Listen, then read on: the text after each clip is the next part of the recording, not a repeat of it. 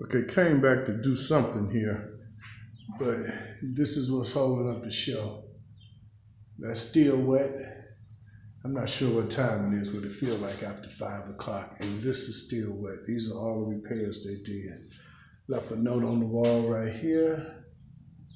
Dry.